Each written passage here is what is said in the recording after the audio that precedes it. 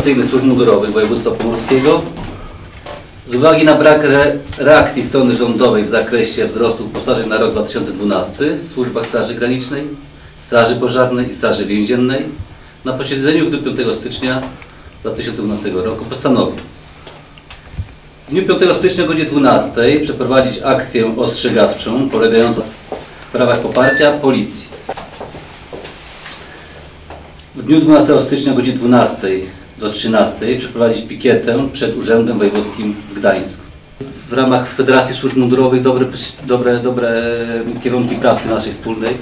No i myślę, i jednak, jednak obecność tutaj policji świadczy o tym, że, że, nie, nie, że my nie damy się poróżnić, że dalej będziemy w jedną, nazwijmy to tak w cudzysłowie, kolokwialnie trąbę dmuchać i będziemy razem wspólnie działać. Yy, Na dzień dzisiejszy mówimy przede wszystkim o bramce 12. To jest generalnie główny element tejże petycji do pana premiera poprzez y, pana, pana wojewodę.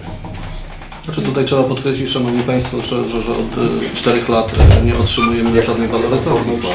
Dlatego na dzień dzisiejszy e, możemy powiedzieć, że gdzieś około, szacujemy około 700 zł każda rodzina e, mundurowa otrzymuje mniej, ponieważ e, nawet nie otrzymaliśmy wzrostu uposażeń o ten wskaźnik inflacji od 4 lat. I to jest dlatego przeciętny funkcjonariusz na dzień dzisiejszy, ten na ulicy, taki, który Państwa niejednokrotnie obsługuje, mam nadzieję, że pozytywnie, czyli poucza, e, otrzymuje około 2000 zł, także patrząc na dzisiejsze realia, no niestety, ale w tych budżetach zarówno i mundurowych służb e, policyjnych, jak i innych, tutaj jak rozmawiamy z kolegami, już nie starcza pieniążków na podstawowe funkcjonowanie.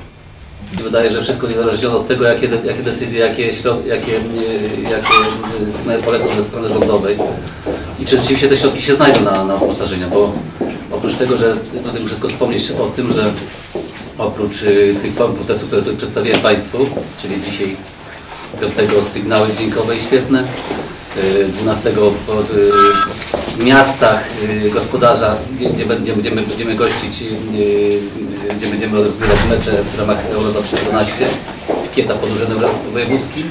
Oprócz tego na granicy zewnętrznej przewidujemy oczywiście, przewidujemy oczywiście formę protestu w postaci y, protestu włoskiego. Zbigniew Nogaj, przewodniczący Zarządu Oddziałowego Niezależnego Samorządnego Związku Zawodowego Funkcjonariuszy Straży Granicznej przy Morskim Oddziale Straży Granicznej. Aspirant sztabowy jest Partyka, wiceprzewodniczący Zarządu Głównego Związku Zawodowego Policjantów. Aspirant sztabowy Mariusz Paprocki, przewodniczący Pomorskiej Wojewódzkiej Organizacji Związkowej Związku Zawodowego Strażaków Florian. Strażak, który przychodzi y, po przeszkoleniu na takim kursie strażaka y, podstawowym, y, zarabia w jednostce ratowniczo-gaśniczej, bo do takiej jednostki z reguły trafia y, około 1500 zł brutto.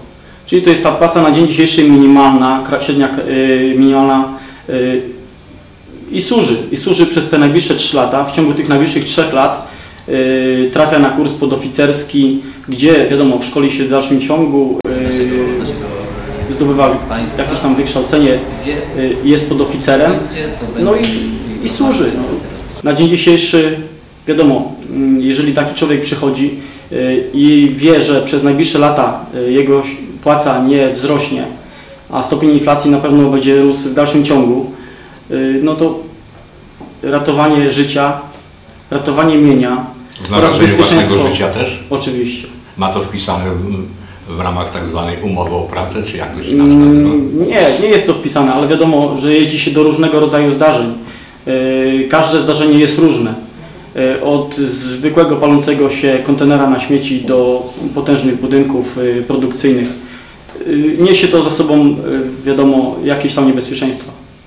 Jakie formy protestu może Straż Pożarna zastosować? E, Przede wszystkim e, należy mówić tutaj, że e, Straż Pożarna nie może brać udziału w strajku włoskim. Jest to u nas niezgodne z prawem.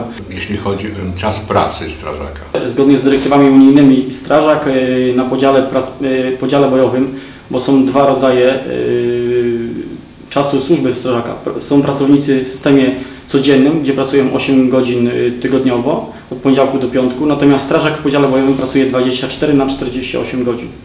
E, Po 24-godzinnej służbie ma 48 godzin wolnego. Dyrektywy unijne narzucają nam e, nominały, normatywy, y, miesięcznego czasu służby, y, czyli 168 do 176 godzin i zgodnie z tymi dyrektywami strażak musi taki okres przepracować. Y, Nie jest to może 10 służb w miesiącu, ale zgodnie z, tym, z tymi normatywami strażak przepracowuje 7 do 8 służb w miesiącu. Czy, czy spodziewacie się jakiegoś efektu pozytywnego dla Was po tych protestach? No ja myślę, że y, petycje skierowane na ręce y, wojewody pomorskiego y, za pośrednictwem wojewody pomorskiego do pana premiera w jakiś sposób przyniosą skutek y, pozytywny. Jarosław Kiciak, przewodniczący Zarządu Okręgowego Niezależnego Samorządnego Związku Zawo- Zawodowego Funkcjonariuszy i Pracowników Więziennictwa. Na czym polega praca funkcjonariusza służby więziennej? Jest to służba, przede wszystkim jest to służba, dlatego też znajdujemy się tutaj w tym miejscu dzisiaj, gdzie się znajdujemy i też wyrażamy swój protest, ponieważ już kolejny rok jakby brak jest tutaj nasz, w naszej, naszych uposażeniach jakikolwiek ruchu przez rząd. E, Zabiera się praktycznie wszystko, a coraz bardziej jesteśmy obciążeni, obciążeni e, pracą. Jeżeli specyfika pracy funkcjonariusza, no są, tak jak w każdej chyba pracy również są różne stanowiska. Funkcjonariusze dzielą się na tak zwane, ogólnie rzecz biorąc, można powiedzieć pion administracyjny i pion działu ochrony. Jest to bezpośrednia praca z osobami pozbawionymi wolności. No, gdzieś tam w mediach słyszymy zawsze, że policja gdzieś tam rozbija jakieś gangi, zamyka jakichś niebezpiecznych y, ludzi i to jest bardzo niebezpieczne zajęcie, natomiast po tym służba już po tych, o tych ludziach gdzieś tam y, w społeczeństwie ginie, no a my się tymi ludźmi zajmujemy y, na co dzień 24 godziny na dobę. Dbamy o bezpieczeństwo, bezpieczeństwo społeczeństw- społeczeństwa, żeby ci ludzie po prostu odsiedzieli swój prawomocny wyrok, odbyli karę pozbawienia wolności, no i nie zagrażali yy, w ten sposób społeczeństwu. Jaka jest sytuacja materialna tak świeżo przyjętego funkcjonariusza? Świeżo przyjęty funkcjonariusz najniższa e, pensja krajowa. To ile to jest? No wiemy ile to jest najniższa pensja krajowa na dzień dzisiejszy, także myślę, że to jest to stopień, e, stanowisko, jeżeli się już tak dokładnie się orientuje, to jest stanowisko referenta, no najniższa, niewiele tam powyżej średniej krajowej, to są po prostu A jak wyglądają praca takiego no, funkcjonariusza więziennego bezpośrednio zaangażowanego y, dozorem ludzi aresztowanych?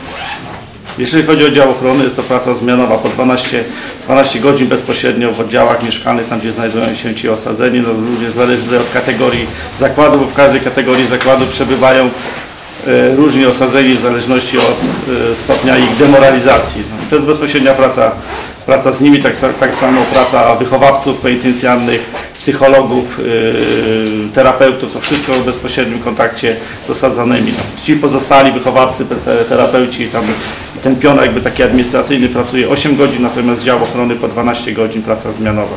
12 na? 12 na 24. A Z tym, że z uwagi na to, że oczywiście jest y, dobór kadrowy mały, to, to nie zawsze te 24 to jest. No, często się zdarza, raczej macie raczej macie niedobory kadrowe. są niedobory, są niedobory kadrowe. A gdybyście przystąpili do strajku włoskiego, na czym by to polegało?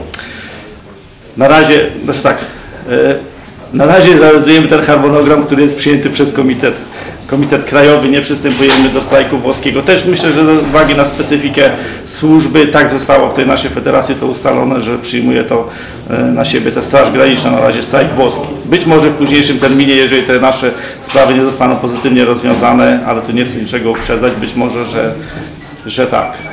Tak chcemy wyrazić to swoje niezadowolenie. Chcemy wyrazić to swoje niezadowolenie, żeby rząd widział też, że, że już ta czara goryczy po prostu przez te 4 lata się przelała w służbach mundurowych. No.